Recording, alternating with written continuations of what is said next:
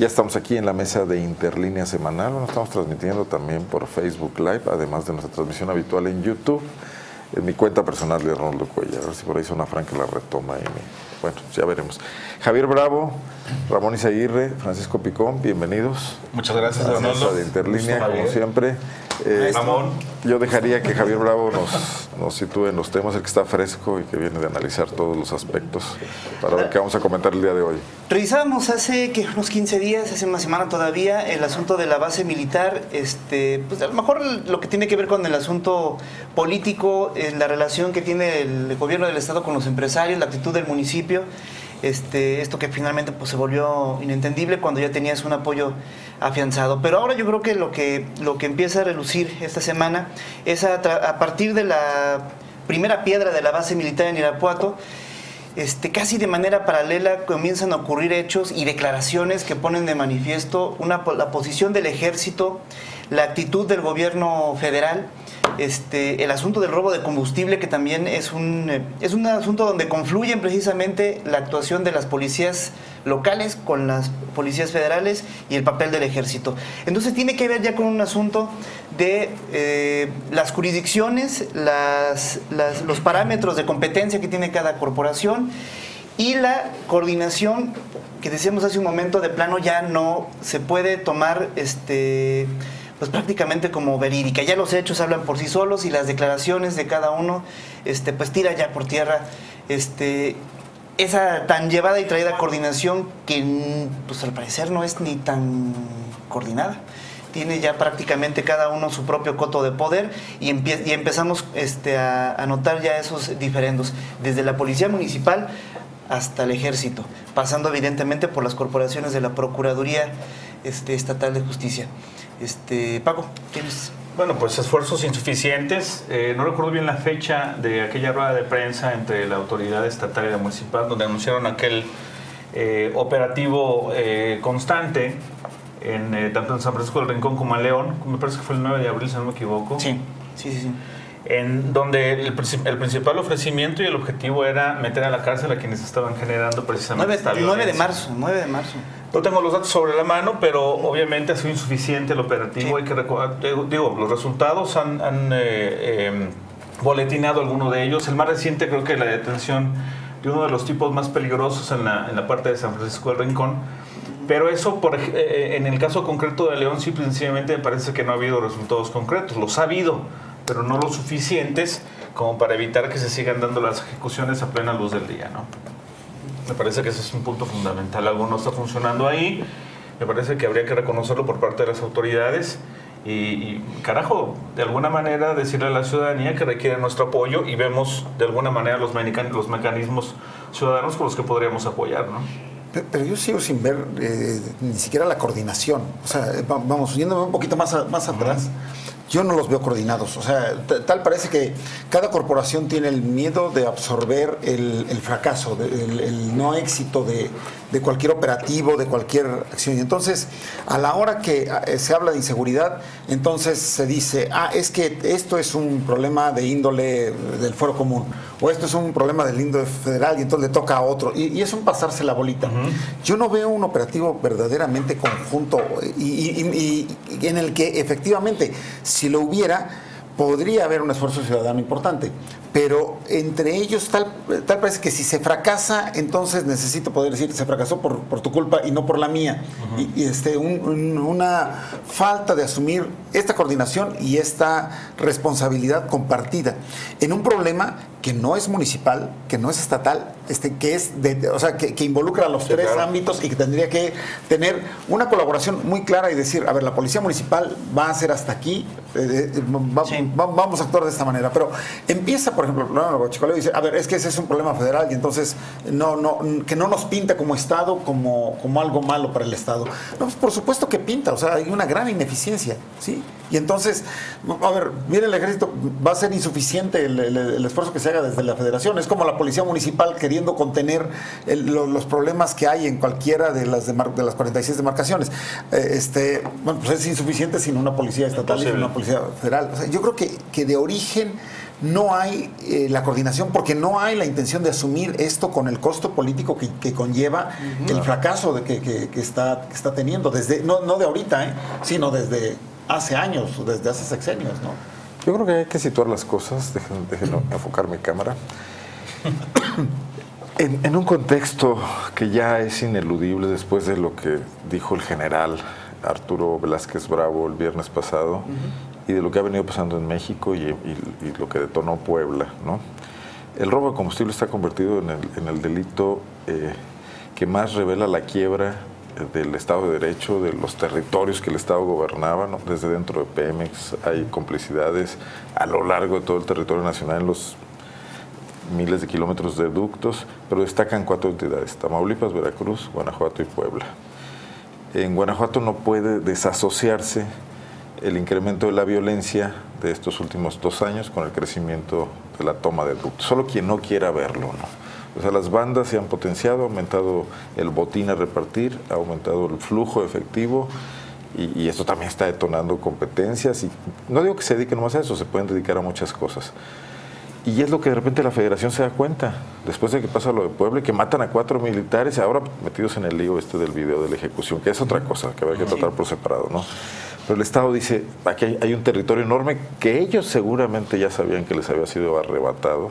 Pemex lo sabía porque hay pérdidas económicas. También saben que hay gasolineras que están vendiendo ese combustible, no solamente son cachimbas o como se les llama estos lugares en la carretera donde se surten los transportistas, que muy probablemente hay empresas grandes y consolidadas que están comprando su combustible a, a los que venden combustible robado, ¿no?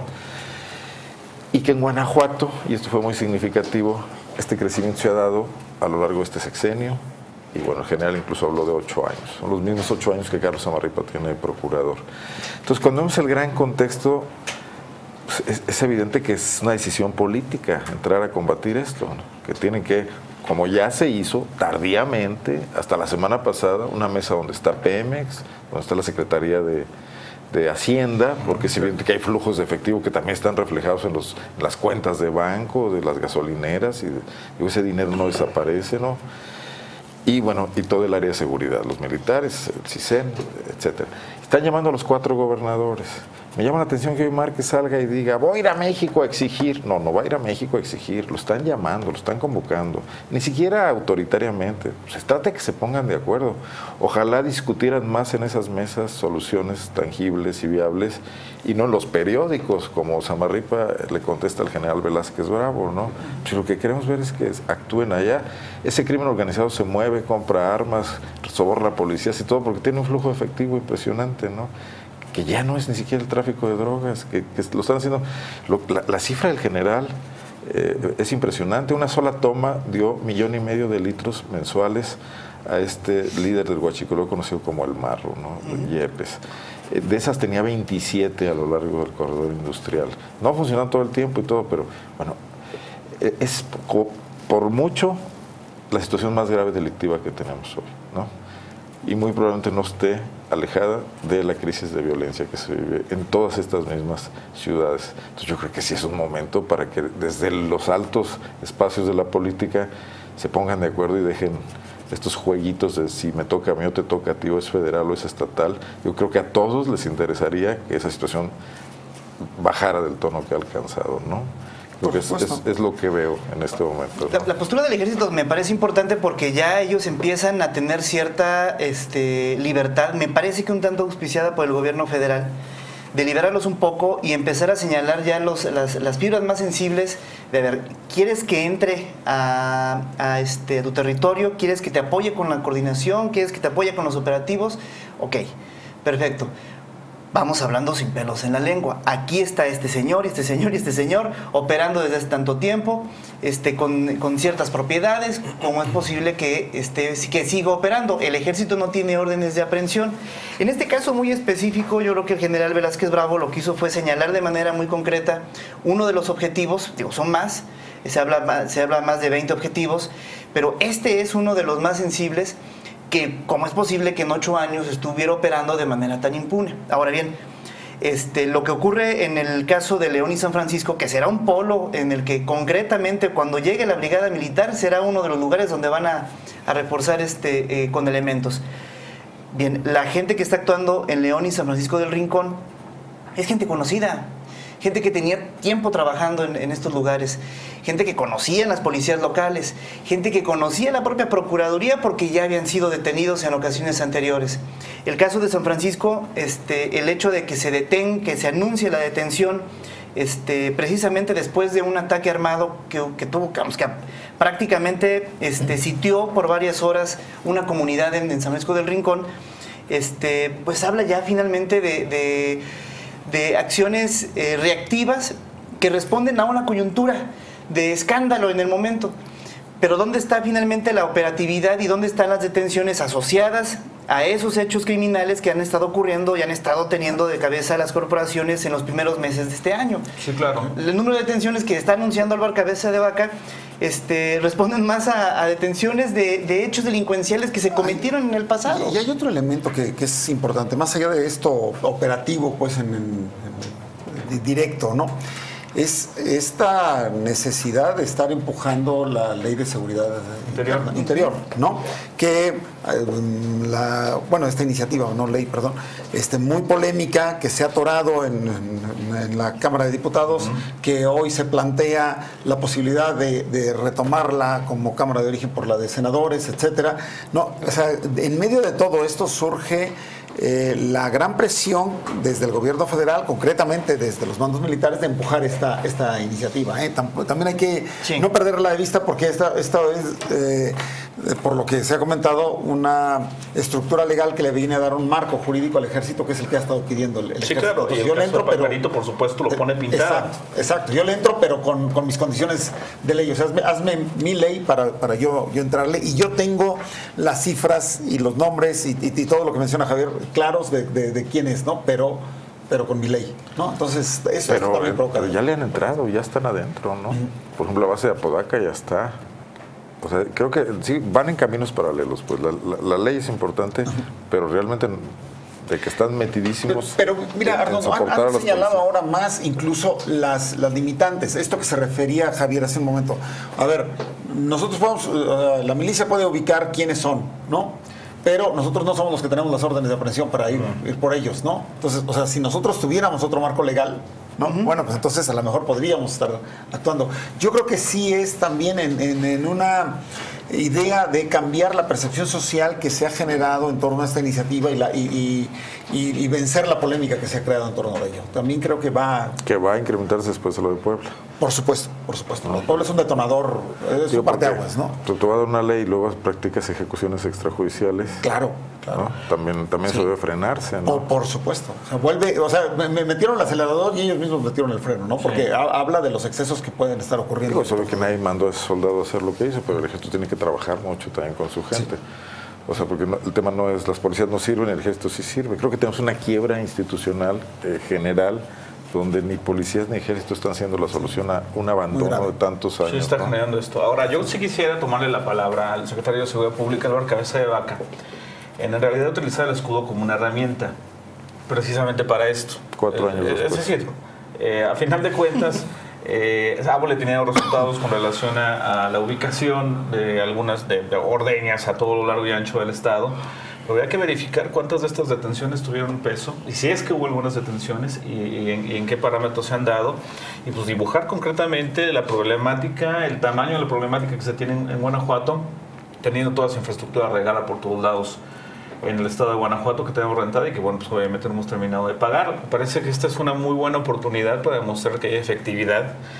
Y bueno, si buscan resultados, ese ya está a la vista y me parece que tienen todo lo necesario para poder dar resultados en ese sentido, ¿no? Sea, es un asunto de frontera, porque lo, lo que mostró Puebla fue comunidades enteras impactadas por, por, la actividad delictiva de estos grupos, beneficiadas por el mismo y que están haciendo la de base social como pasaba en Colombia a grupos eh, delictivos. Eso ¿no? es algo muy común. Este, bueno, pero no lo habíamos tenido en México. El, narcotráfico no había, salvo quizás Michoacán, ¿no? con el tema este de, de, de, donde no se sabe dónde terminan los autodefensas y dónde empiezan Exacto. los grupos este, delictivos. Pero lo de Puebla sí es una novedad. ¿Dónde está la política social que en este país se ha venido de, desde Colosio? aplicando con millón, miles de millones de pesos. Digo, sale con unas declaraciones que dan ternura eh, Diego Sinue Rodríguez Vallejo a decir que gracias al programa Impulso ya se detuvieron los robos al tren, cuando fue necesario traer al ejército y meter ahí un impresionante operativo para detenerlos. Digo, no es cierto, no se pueden Mira, no pueden contarle esas mentiras a la gente que no se las creen, pero ching, fregado, que no se las cuenten a sí mismos, ¿no? Si se las cuentan a sí mismos, si se las creen, pues algo mal, ¿no? Sí. A ver, está mejor.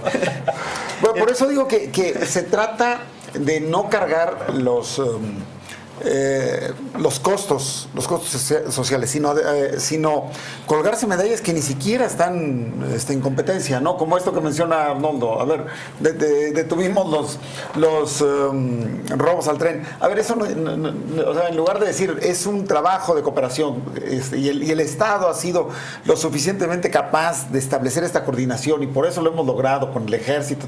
No, no hay que reconocerle nada a la federación o la federación no le reconoce nada al Estado o el municipio de tal color no le reconoce nada al Estado y aguas porque esto se va a enturbiar más o empieza a enturbiarse más en, en- a unos cuantos meses de que empiece el año electoral, Sí. ¿no? Entonces, todavía va a ser más eh, evidente esta confrontación de que unos lo hacen bien, eh, de los de un color lo hacen bien, los del otro lo están haciendo muy mal, y de que eh, la sospecha de que quieres llevar, eh, capitalizar esto políticamente para tu candidato, para tu partido, todo esto. Entonces va a ser todavía más complicado, ¿eh? Yo creo que un esquema de coordinación va a ser más, más difícil por...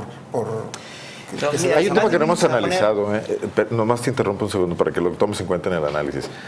El cambio, además de la llegada del ejército, es el cambio en la Secretaría de Gobierno. O sea, Sí. eh, Ro- Rodríguez Junquera y Gustavo Rodríguez Junquera también llega con la obligación de hacer lo que no hizo su antecesor, de asumir el liderazgo de- de- Del eje. del eje de seguridad en Guanajuato. Entonces hay Es- nuevos actores.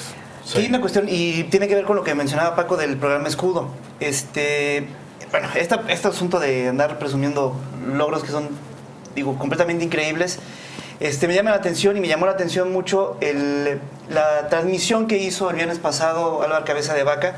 Hizo una transmisión vía Periscope, nadie la vio, por supuesto, creo que alcanzó 15 espectadores y algunos otros más. Yo era uno de esos. A ver, yo Arturo- también. ni pues, Arturo Tavares, sí, como no. y- Pero Paco sí la vio, o sea, tampoco... yo vi una parte, después me aburrió. Pero, No te digo, burles, porque un- nosotros tenemos 12 en Facebook. O sea, si, llegamos a tres más... saludos. si Uno de ellos es Raimundo Sandoval. Sí. Les mandaría flores, pero Facebook ya les quitó. Ya la repuso. Bueno, este llama mucho la atención que, utili- que en esta coyuntura de violencia, en esta coyuntura de índices que siguen repuntando, este, salga a festejar los resultados de la auditoría de- del funcionamiento en el Congreso. Una auditoría que realmente se queda corta, que tramposamente, diría yo, los diputados de la legislatura anterior autorizaron tres fases de auditoría y la última enfocada al funcionamiento, cuando todos em- eh, vamos, esperábamos que esa revisión se enfocara en, en qué impacto está teniendo el, el programa Escudo realmente en la, ya en la, en la operatividad. Resulta que no, el funcionamiento es únicamente si tenemos 50 cámaras colocadas, que las 50 estén conectadas. Es un asunto Que estén técnico. diciendo, es un asunto muy técnico. resultados. No hay, un, no hay un asunto ya de impacto hacia los resultados, a la efectividad que tiene el programa ya de manera operativa. Entonces, oye, en este momento pues hay un movimiento que está generando, este, entiendo, el, Partido Verde para ver si se realiza la, la- o si se aprueba primero una cuarta fase de auditoría del programa Escudo para revisar los resultados. Y creo que es muy elocuente la respuesta que da Miguel Márquez hacia ese cuestionamiento. No, pues el programa Escudo lo medimos nosotros cada mes. Me parece representativo porque sigue siendo un programa que sigue siendo un coto cerrado hacia el gobierno estatal. Y lo decíamos hace una semana. El, el tema del, de, lo, lo comentábamos con Adolfo Pons, el tema y el, el caso de, de la ejecución de los tres niños en San Miguel de Allende fue un asunto muy ilustrativo. Cuando se suponía que el C5 era un asunto donde, vamos, era una, una entidad, un- una instalación en la que confluían las diferentes corporaciones de seguridad, no solamente del Estado y del municipio, sino también federal, que la información era precisamente para que fuera transversal, el Estado lo cerró, lo acorazó y únicamente el Estado supo qué fue lo que ocurrió esa noche en ese lugar. Si el C5 sigue siendo... demás supieron y callaron. Bueno, El, Cimental dijo que no sabía. Cimental dijo, dice, el- el- nosotros Policía llegamos porque había un reporte de, de- de armas de fuego en ese lugar. Nosotros no recibíamos información este, del C5, no había nada. Por, por, eso yo insisto, no, perdón, no está fallando la coordinación, no existe la coordinación. o sea, eh, ¿en, ¿en, qué está fallando la intervención de la federación? Digo, tendríamos que tener muy claras cuáles son las líneas de acción de uno y de otro, y entonces decir, aquí la que falló fue la federación, aquí lo que falló fue el ejército, aquí quien falló fue escudo, etcétera. No, o sea, no, no, no hay tal coordinación. A, sí. lo mejor se da más en términos de declaración. La, ¿no? Fíjate que la declaración es, es, importante rescatar esta parte porque me parece que, que lo, lo, está asumiendo propiamente Álvaro Cabeza de Vaca cuando dice cuando asegura y que eso hay que agradecerlo, ojalá la gente lo, lo, pudiera leer y tener en la mente constantemente, en el sentido de que ellos jamás prometieron que con escudo terminaría la delincuencia. O sea, la, pues en esos términos, ¿no? El, el término me parece pero no, promet, pero no prometieron que se iba a incrementar tampoco. Tampoco, exactamente. O sea, pero es como la selección mexicana. Pero, Nunca prometimos ser campeones del mundo. Bueno, pues tampoco te van a eliminar en la primera, ¿no? Pero es contundente en decir jamás prometimos eso. No hay ni siquiera un discurso de decir pero con las autoridades. Bueno, por lo menos ya el tan gastado discurso estamos coordinados con las autoridades para tratar de, de mejorar esa situación, ¿no? La declaración y nada más para terminar con el tema de la transmisión de, de Álvaro Cabeza de Vaca es esa, la de eh, concretamente jamás prometimos que iba a terminar la delincuencia y Escudo sí funciona y funciona muy bien, ¿no? Acá dice Sergio Moisés que por qué no nos traemos al del FBI que acaba de correr Trump. Porque Trump le prohibió hablar y dijo que si decía lo que platicaron, entonces le iba a ir muy mal. Entonces, pero, pero que... yo quiero pasar un poco al tema político, porque lo que veo es una administración de Miguel Márquez que está enfilándose hacia su, sus últimos meses acabando trincheras. ¿no? O sea, acabando trincheras para defender su, su, participación en seguridad y responsabilizando a otros, para defender escudo también. Eh, para el Congreso, Héctor Jaime también radicalizándose contra la oposición. Uh -huh. y, y, y, en vista de la temporada electoral, pues esto se ve que, que va a continuar, ¿no? Pero entonces el gobernador que, que prometía transparencia, que prometía capacidad de negociación, que no era un panista tan duro ni tan rudo como Oliva, que podía haber generado otros consensos, va a terminar también muy metido en, en una trinchera política peleando con todo el mundo y perdiendo consensos, ¿no? Eso también me parece delicado porque para combatir la inseguridad se necesita, bueno, peleado con los transportistas de León por el tema de UNEBUS, por apoyar a Flecha Amarilla, sí. eh, confrontado con la iniciativa privada uh -huh. del Estado por los el retiro de los fideicomisos. Ahí Rodríguez Junquera está haciendo lo que puede para paliar en ambos casos. Entonces, como que no es el mejor eh, método para tratar de afrontar las complicaciones que Pero se el vienen, tema de la ¿no? federación, Segmentarse y, y, decir esta es mi verdad, defenderla como sea, y todos los demás están mal. Pero el ¿no? tema de la federación te parece que está conflictuado concretamente Miguel Márquez, es decir, los acercamientos, por ejemplo, con, con, la milicia, ¿no te parecen un paso adelante y tratar de solucionar las cosas? Yo describí de eso y decía que me parece que Márquez quiere también ya un poco desconfiando de la información que le han dado hasta ahora a Samarripa y Alvar. Exactamente, bueno, me parece que eso es un Quiere equilibrarlo, que sí, sí. pero es la peor manera de llegar a buscar una, un equilibrio, porque el gobernador designó a sus funcionarios, los escogió y, y, creía que podían solucionar un problema. Si no se lo solucionan, no puede llegar a pedir el auxilio del gobierno federal o a establecer una alianza con ellos sin aportar él el 100% de su capital, ¿no? O sea, él tendría que cesarlos y nombrar a otros funcionarios y ya desconfía de ellos y entonces sí decir coordínense con el ejército, ¿no? Porque yo creo que eso no va a funcionar. Las declaraciones que le da que, que, da eh, Carlos Amarripa para contestar al general Velázquez Bravo son ¿por qué los vamos a detener nosotros? El delito es federal, ¿no? Sí, me parece que eso jamás va a pasar, al menos en esta administración. Algo en cabeza de vaca, creo yo, a menos de que no, ocurra. No comparten otra información. ¿eh? Este, lo cual me parece que es, que es grave, sobre todo por el desgaste que, que, que está acumulando pues, esta administración pública estatal. El cómo llegue al final de ese sexenio va a ser fundamental para la lectura que se le dé precisamente al 2018 y tienen abierta esa, esa, puerta de discusión en materia de seguridad y con las dos cabezas importantes en el tema. ¿no? A un tema en el que también la federación tiene que cerrarlo mejor. También puede ser parte de la apuesta, Paco. O sea, el, qué te el, refieres? o sea, el Estado, eh, tenemos una crisis de seguridad muy, muy evidente. La federación también lo tiene, o sea, en el, en el país la hay. O sea, el, el, gobierno federal tendrá que apostarle seriamente a, a, una percepción diferente en términos de seguridad, o sea, a que, a que se empiece a ver algo diferente. A lo mejor estas presencias militares van hacia, hacia allá. Y Y entonces puede ser que se diga, a ver, vamos viendo cómo, cómo pretende cerrar la federación. O sea, acordémonos que o sea, cierra Márquez, pero también cierra, cierra Peña. Ahí ¿no? confluye, ahí Y, confluye. y- y que a ninguno de los dos, ni al gobierno federal ni al gobierno del, eh, del Estado, les conviene cerrar mal en un tema tan sensible como este. Entonces, creo que ahí van a poder, em- eh, como dice Javier, empezar a tener puntos de confluencia que, que puedan rendir algunos resultados, a pesar de estas eh, deficiencias que, que- que ustedes apuntan. Pero, Porque si fuera nada más Márquez el que cierra, a lo mejor, a lo mejor la federación se, se podría hacer a un lado. Pero Pero, el tema- estando los dos, quién sabe. Hay un tema ya también, ¿qué quieren y qué pueden hacer? O sea, las guerras se ganan acumulando fuerza, con efectivos, ¿no?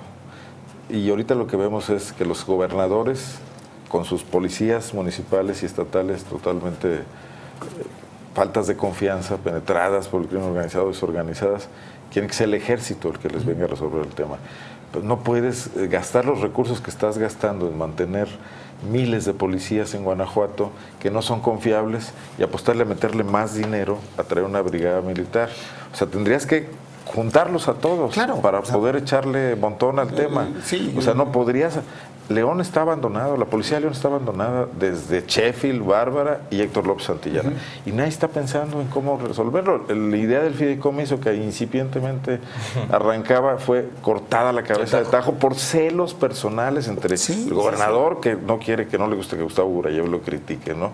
Y abandonan cosas. Entonces, 3.200 militares no pueden suplir a 1.800 policías de León, 1.000 de Irapuato, no sé cuántos de Salamanca y de Celaya, ¿no? Tendrían que sumarse todos, y es lo que no estamos viendo, ¿no? Sí, ese, complemento. estoy de acuerdo. Y Entonces, con una estrategia, ¿no? a Peña no le conviene, a Márquez no le conviene. No les está convienen muchas cosas, pero sí. pueden, pueden hacerlo en este momento. En si no puede correr, por ejemplo, a su funcionario de seguridad, si le costó tanto trabajo correr a Toño Salvador, que era evidentemente una nulidad, lo pudo haber corrido al segundo día que, que fue gobernador y no lo corrió, se tardó cuatro años. Entonces, ¿qué le conviene y qué no le conviene? Le convenía correr a Toño y no lo corrió.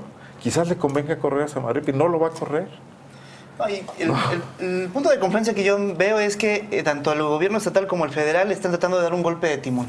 No están pensando estratégicamente.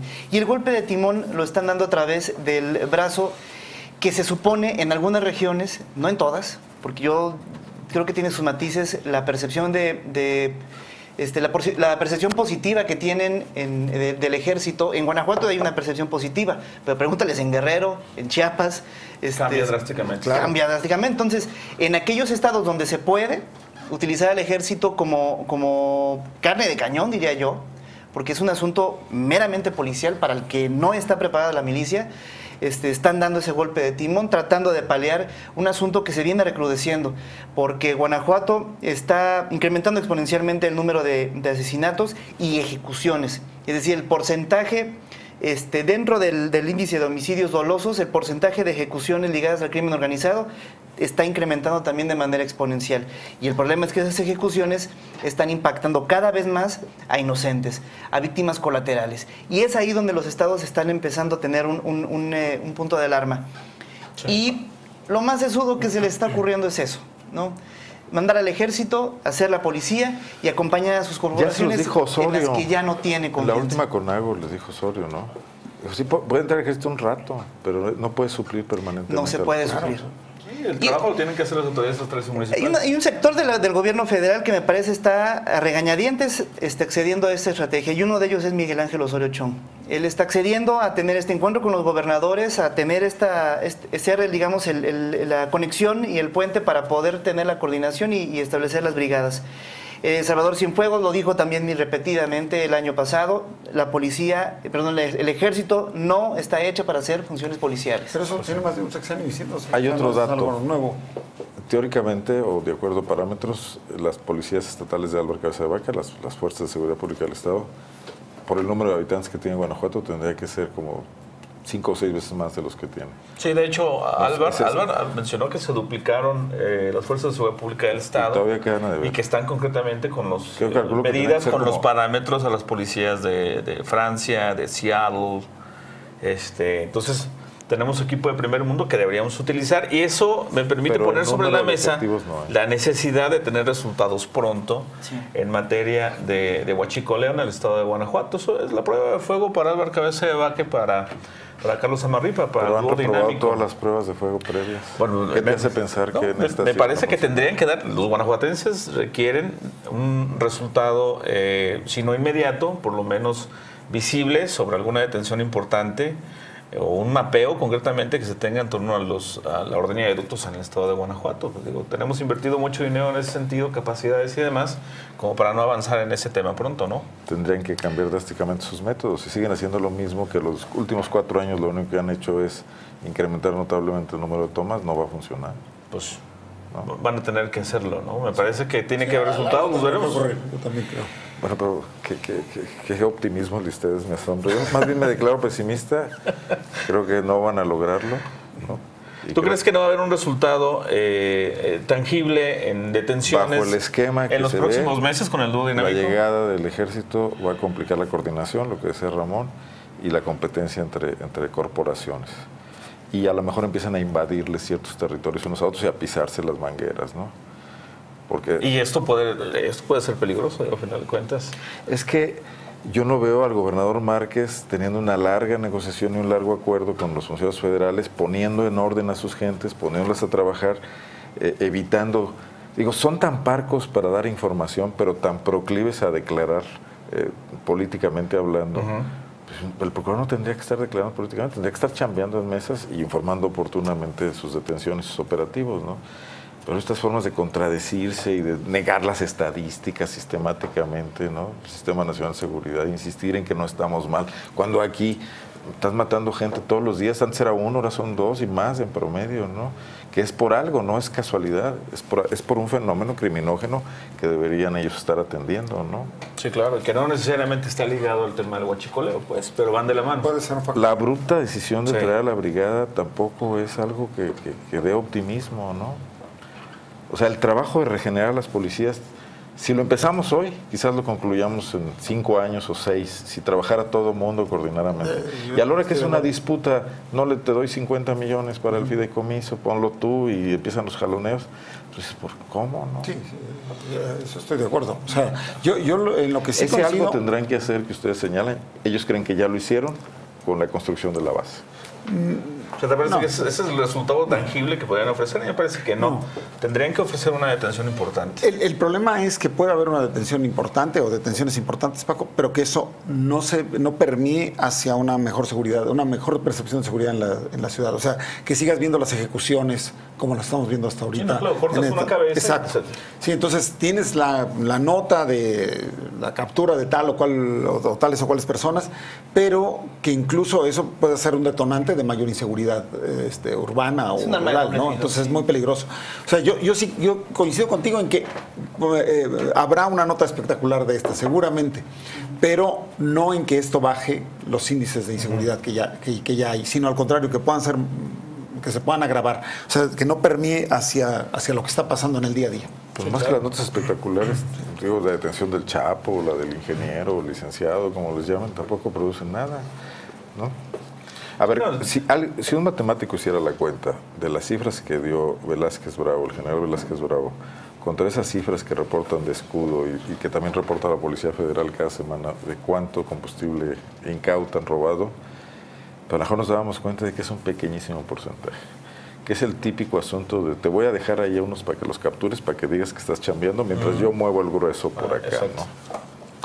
Pues es una problemática seria. Eh, Sí me parece que la- hay una desarticulación importante entre, entre, las, entre las autoridades. Eh, no, no se me ocurre cómo sanear de inmediato todo el tema. No, no, no es nuestra chamba, por fortuna. Sí, no, no, no. Nomás comentarlo. Pero, pero, pero, pero por lo pronto poner este como eh, sobre la mesa, eh, digamos, los tornillos que hay que apretar para que, esta, para que esta maquinaria funcione. Al final de cuentas, es el recurso público de todos el que se está robando. Con eso fácil- fácilmente podría haberse financiado el tema del gasolinazo. Fácil. Eh, pero bueno, lo tenemos ahí, está abierto. Guanajuato es una de las principales entidades y hay que dar resultados en ese sentido. Sí, es que ya es la principal. Ya algunas estadísticas ponen a Guanajuato muy por encima de Tamaulipas. Este, ya, se unió Miguel Ángel Zacarías Nicasio, un saludo. Está Miguel Ángel Zacarías, perfecto. Un saludo. No nos ha mandado. Estás dando ideas este, para su columna domingo. un saludo de Miguel Ángel Zacarías. Vamos a otro tema, nos sí, Vamos a lo siguiente que es, este, pues bueno, yo creo que confluyen varias cosas, pero eh, esta semana, bueno, ayer prácticamente se lo, lo boletinó Yulma, prácticamente durante toda la semana estuvo circulando muy penosamente en redes sociales una noticia falsa, una, un ataque, pues, yo diría, completamente ilógico. Sí. Este, sobre una publicación donde... Artero sería una palabra. Sí, una noticia falsa sobre Yulma Rocha donde se le atacaba políticamente como mujer. No vale la pena ni siquiera mencionar qué me parece que, es, pero evidentemente se le toca su integridad como, como, como mujer y como, y como este, figura pública. El día de ayer ya lo, lo lo boletinaba, indicó que iba a revisar. Finalmente iba a investigar, se apoyó concretamente y lo anunció hace un momento del Comisionado Nacional de Seguridad Pública, del señor Renato Sales, este, para investigar de dónde vino este ataque. Pero sí pareció bastante doloso porque prominentemente empezó a surgir, y creo que es lo más lastimoso de todo, empezó a surgir y empezó a, este, a tener este, eco, digamos, pero dentro de las líneas del Partido Revolución Institucional, su propio partido. Un partido que enfrenta una severa crisis desde hace, desde cuando podríamos decirlo, digo, es una crisis que se ha perpetuado prácticamente. Digo, tiene ya bastante tiempo. Pero llama la atención que empiece a surgir precisamente dentro de sus filas en Guanajuato en el momento en el que Yulma Rocha pues tiene en este, un, crecimiento y una relación quizás más estrecha, como este, no recuerdo otra parte de, su carrera, este, con el Comité Ejecutivo Nacional. Está teniendo este, un repunte importante en su, en, su, en su carrera política, pero en México. Aquí no. Y pareciera que aquí pues, les causa algo de escosor y sale este tipo de, ataques que pues la verdad se me hacen completamente ilógicos y en un contexto en el que Guanajuato sigue persistiendo la violencia política contra las mujeres. Creo que eso es lo más, lo más lamentable. Y este, pues bueno, ayer ya lo boletinaba y hoy este, precisamente se hizo ya presente en, el, este, en la instalación del Observatorio este, de la Integración Política de la Mujer en Guanajuato, donde estuvo presente precisamente Lorena Cruz, directora del Instituto Nacional de las Mujeres quiere comentar algo al respecto. Pues bueno, hay varios aristas. Digo, un término interesante que es en el que están trabajando de manera, de manera legislativa, pues es el asunto de la violencia política, que es como lo, aterriza eh, Yulma. Me parece que independientemente de, este tema, tenemos una problemática seria los medios de comunicación con el tema de las notas falsas. así se dio, ese fue el, contexto en el que se da más allá de, si es fuego amigo o no y cuáles fueron los objetivos. Me parece que están, están aprovechando una afluente importante de misoginia en redes sociales, sobre todo en Guanajuato. Es, eh, impresionante la manera en que una mujer es atacada, sobre todo teniendo un cargo público. Y esto, pues por supuesto, que, que, llevó precisamente esa, esa etiqueta. El objetivo no sé si era concretamente eh, pues desgastar la imagen de, de, Yulma Rocha en asuntos, pues, digo, pues, la nota tú lo dijiste, no, tiene, no, no vale la pena ni siquiera mencionarlo porque mero montaje sin ningún elemento periodístico de por medio, pero tomado tan a pecho en las redes sociales, no solamente en grupos de personas en Irapuato, sino en todo el estado de Guanajuato, que sí generan obviamente... Porque estaba movido, porque estaba eh, alimentado, digo, no fue, Aparte. no fue espontáneo. Incluso no llegó a convertirse en viral como pasa cuando circula espontáneamente y hay un mucho compartido. Está compartido en grupos, ¿no? Sí, compartido en grupos. No había video, obviamente. Entonces, no, era un eh, montaje de fotografías falsas eh, donde se trataba de superponer eh, a, Yulma Rocha su imagen sobre un video pornográfico y, queriendo montar un escándalo sexual. Yo encuentro, pues, yo lo encuentro, es ilógico un ataque de esa naturaleza en política, pero tiene cierto sentido eh, por una cuestión fundamental, y aquí no son los antecedentes. O sea, el grupo de Gerardo Sánchez responsabiliza a Yulma Rocha de ser eh, quien eh, activó políticamente para que se lograra la separación de Claudia Navarrete en la sede, en la sede Sol, ¿no? y también de haber manejado un poco el tema de quién podría ser su sucesor. Y eso se ha convertido en una política más importante en la sucesión priista en Guanajuato en los últimos días. Eh, esto tiene especial, especial movimiento en Irapuato, de donde son Claudia Navarrete y Gerardo Zavala. Gerardo Zavala quiere ser delegado de solo impulsado por Gerardo Sánchez. Entonces hay muchas pistas, o sea, ¿a quién beneficia el tema?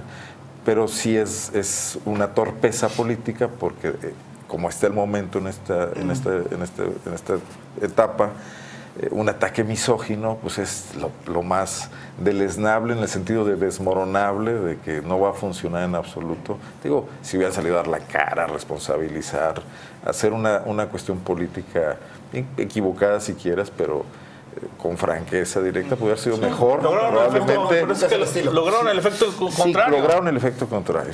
a, mí, y si esto habla de lo que va a manejar Gerardo Sánchez en la precampaña, este, pues ya nos podemos imaginar cómo se van a poner las cosas. Dicen que uno de sus asesores, de apellido Gamondi, que es tamaulipeco, es experto en guerra sucia. Y también por ahí se. Pasamos del estilo Lallina, luego palabras muy adornadas. Ya, ya, ya fue un ataque artero. Sí, sí, sí, a mí me sigue pareciendo una hijas de la fregada. Este, este, déjenme recuperar el, el, el el estilo, eh, me parece, coincido con ustedes, pero a ver, eh, creo que no ha logrado cabalmente el efecto contrario. Y esta, esta es una parte preocupante. O sea, tendría que haber un pronunciamiento unánime, de incluso de los grupos políticos, diciendo así no. Ha habido algunos, pero obviamente. Ha habido unos así muy aislados, muy desperdigados. No, no, no, no, lo sé, digo, la verdad no, no he seguido a todos. no, no sé si el, propio, el propio PRI este, lo, lo, lo Sus compañeras diputadas. Este, pero tendría que ser aquí no un asunto, a lo mejor podría empezar desde un asunto priista, ¿no?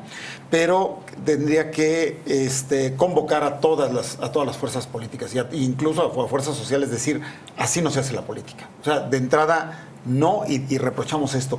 Y ahí es donde me preocupa, Paco, porque el, eh, todo, o sea, vamos, con quien lo eh, platicas, todo el mundo coincidimos en lo artero, dijo Arnoldo, del, del, ataque. sí, sí, dijo artero. sí, sí, este, eh, pero pero yo siento que no ha logrado esta convocatoria que, tendría que estar provocando un ataque de esta naturaleza. Bueno, lo, es muy preocupante. Lo hizo público ayer, ¿eh? Pero, mira, yo creo que antes había sido el silencio porque todo nadie quiso reproducir. Estamos en, en, mayo, cuando todavía, o sea, tres meses, de cuatro meses de que empiece el, año electoral.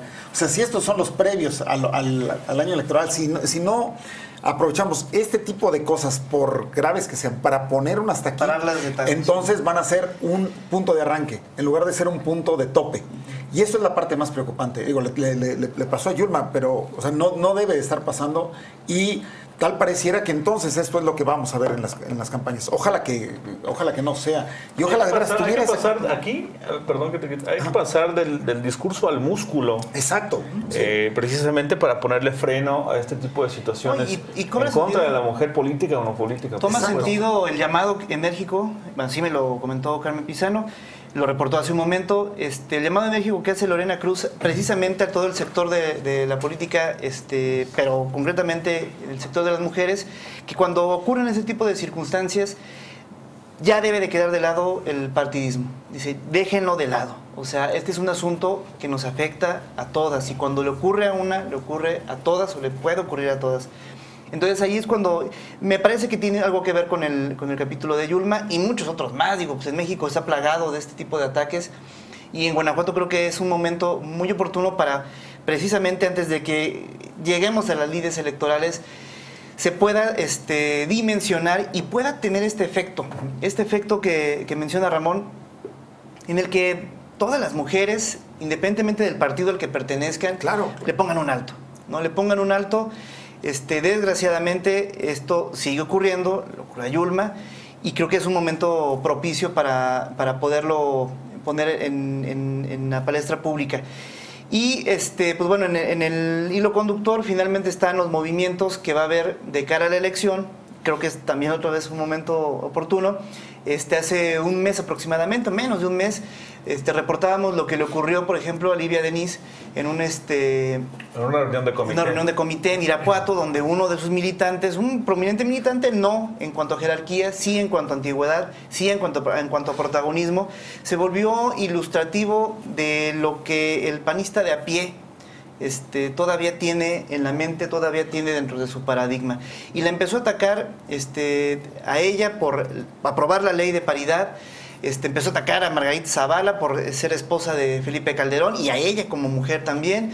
Entonces es algo que empieza a tener que a captar la atención de los jerarcas políticos en cada instituto, porque viene finalmente la repartición de lo que viene siendo la cuota política.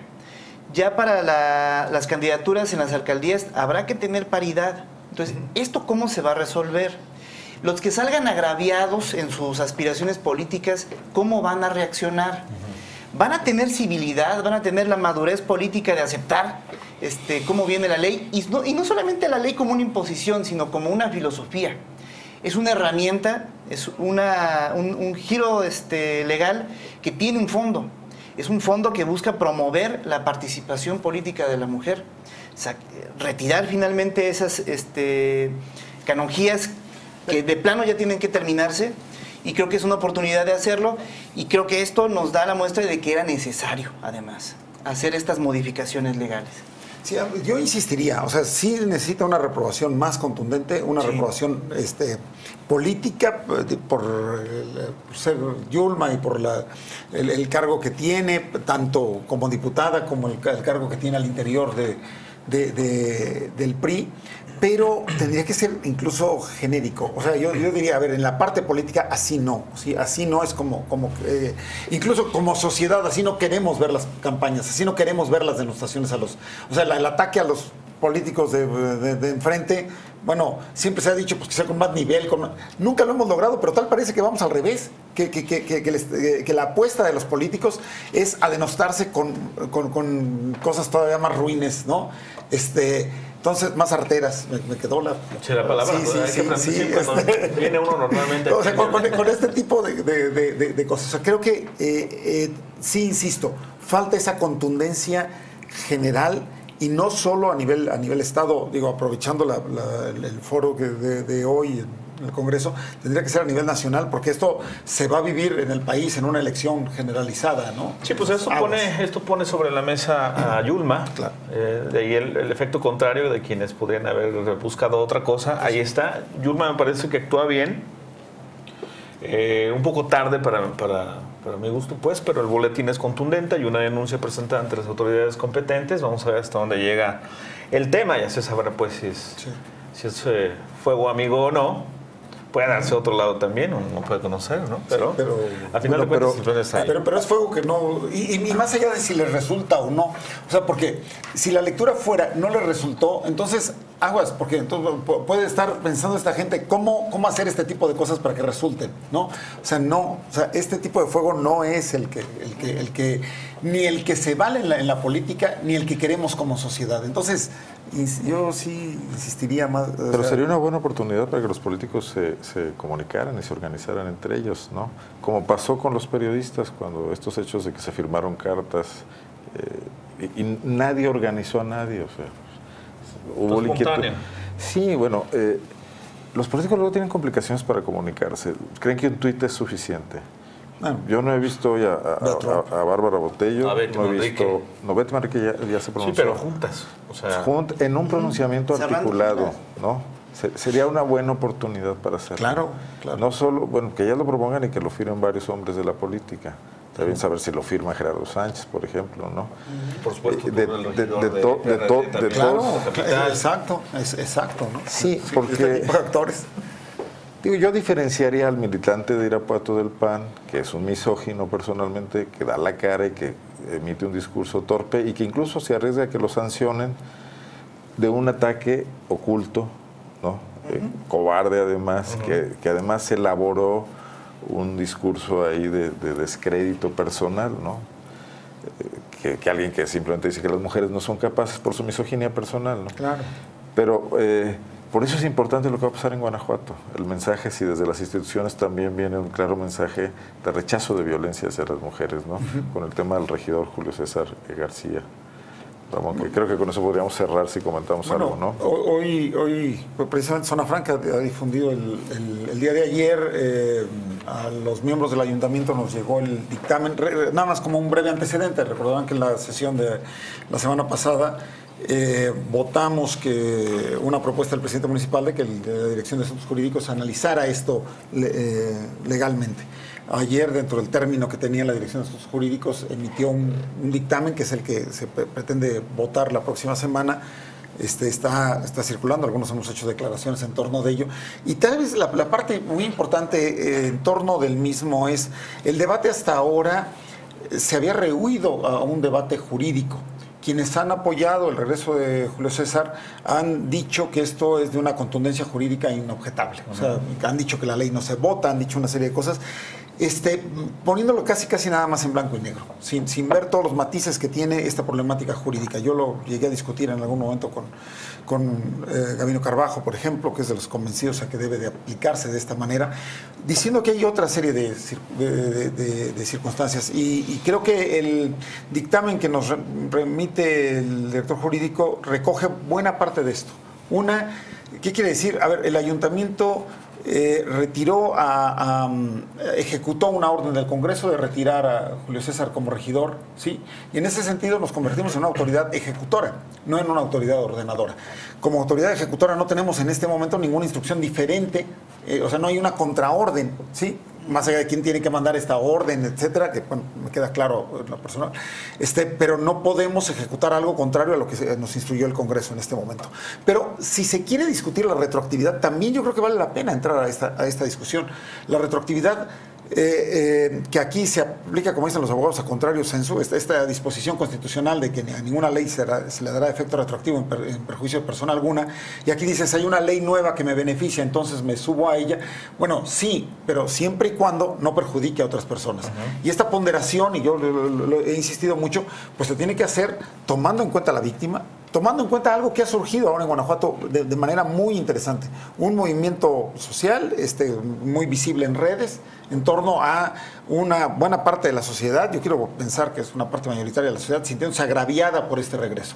Ah, bueno, entonces hay, hay, hay eh, derechos jurídicos en conflicto, no nada más está el derecho, dijéramos así, puro de, Julio César, y estos derechos en conflicto pues habrá que analizarlos, ¿no? Habrá que revisarlos, y creo que es lo que, lo que parte del análisis que hace Ángela Araujo, nuestro director de Asuntos Jurídicos, y, enriquece mucho la polémica al decir eh, algo que no se había estado, eh, estableciendo. Eh, no solo se trata de una polémica ética, moral, etcétera, sino también hay una polémica jurídica en el asunto que, lo vuelve discutible y que, bueno, pues ya cada quien en el ayuntamiento este, se pronunciará. En lo personal, yo lo he dicho desde su momento, desde el momento en que ya tuve los documentos, porque además los documentos, hay que decirlo, algunos de los compañeros los tenían, otros los teníamos incompletos, etcétera. Ha sido algo ahí extraño. a mí me queda perfectamente claro que no es el ayuntamiento y no por rehuir esta responsabilidad, no tenemos una contraorden, pero que si se trata de entrar a analizar la retroactividad, no es en blanco y negro y yo creo que hay otros intereses a, revisar y no solo el de Julio César, y hay que ponderar el de la víctima y hay que ponderar el propio interés de la sociedad en cómo, cómo, cómo se ve reflejada al tener un representante con estas características. Pues complicado el tema, me parece que es, complicado. Eh, lo que se tiene ahí pues es un regidor pues confeso con relación a, golpes hacia una mujer, hacia su pareja. Me parece que también tiene que tener un rol importante el, tema de la, de, la moral eh, propia y también el tema de la presión y el peso en específico del partido al que representas. Que me parece que ese es otro aspecto que ha quedado muy, muy de lado en, en este tema. Digo, sí, en el caso del Estadio León, estás tratando de alegar que, el derecho de la gente a la recreación para tratar de rescatar lo que es algo que se ha argumentado para que la Corte lo tome en cuenta y no se lo entreguen a particulares, aquí máxime creo que puede ser un valor a considerar incluso en la discusión jurídica el de un ayuntamiento que dice queremos enviar el mensaje de que la violencia es intolerable. Y, hay un mensaje previo, Arnoldo, que, que viene muy, muy a cuento Recordarán que hace algunos meses se tramitó el primer eh, amparo para lograr un matrimonio igualitario en el municipio de Guanajuato.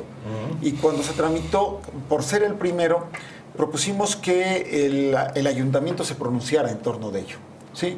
Y se pronunció a través de una figura legal que se llama amigos curio, amigos de la corte, de la causa. Este, y el mensaje que se mandó al juez de distrito fue decirle, a ver, no somos parte del proceso legal, pero no estamos de acuerdo en que en el municipio este, que, gobernamos se violen derechos fundamentales. Y en ese sentido, sí, te, pedimos que apliques toda la jurisprudencia que ha venido este, aportando la, Corte y que permitas el matrimonio de, esta pareja de chicas.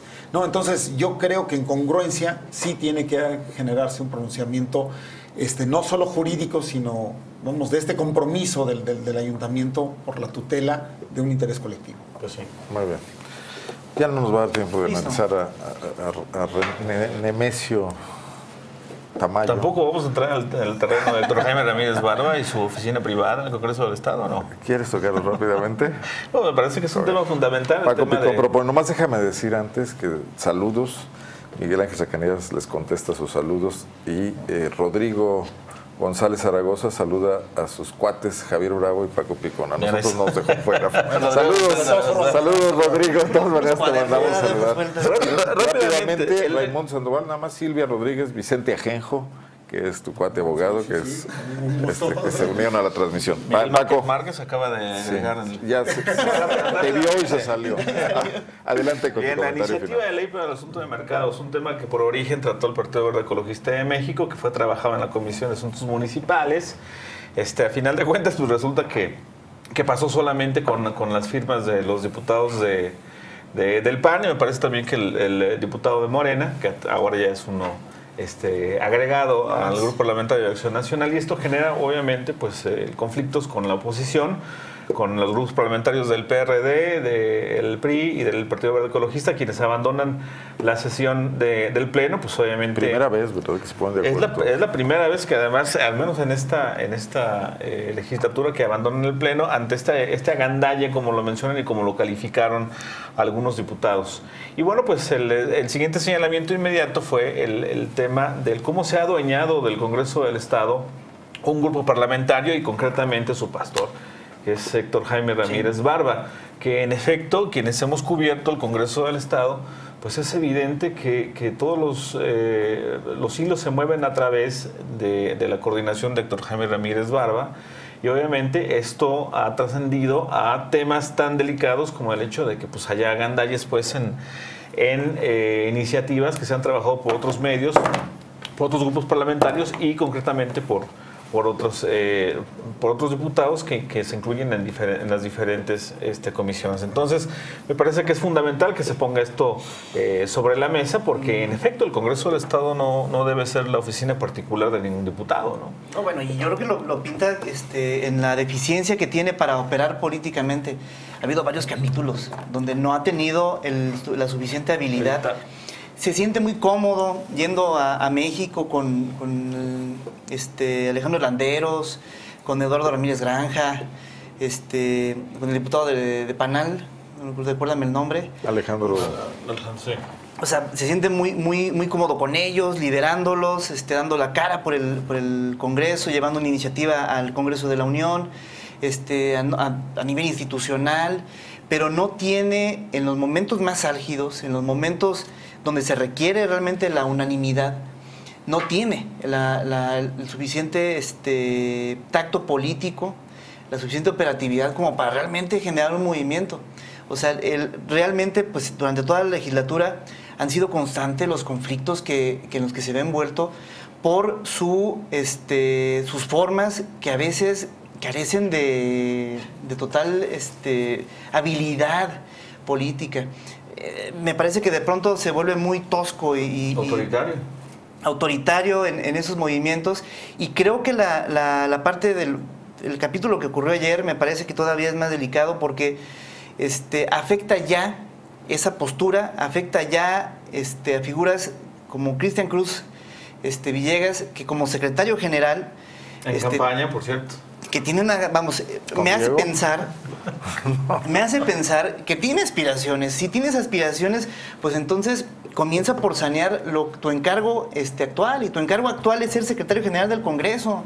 De los ser- 36 De los 36 diputados. Y ayer quedó de manifiesto que está prácticamente este, o en complicidad o completamente secuestrado por una, por una fracción. O sea, un, un asunto tan De, elemental de la como... que es militante. Digo, de es la que militante. fue candidato y por Y la ya que se sabía que no. tenía ese ok, perfecto. es disimúlale poquito. Disimúlalo, saneate. Digo, ni siquiera este. eh, ni siquiera Jorge Espadas, vamos, este. actuó de esa manera, vamos. Es un asunto tan elemental como pasar la minuta a todos por igual. De una ley que se supone van a firmar todo. Y de la gente que la trabajó. Caray. Desde el que origen vería es hasta que el tema de es las un conflicto absolutamente innecesario. Y completamente el, innecesario, El tema no era relevante como para hacerlo, secuestrarlo partidistamente.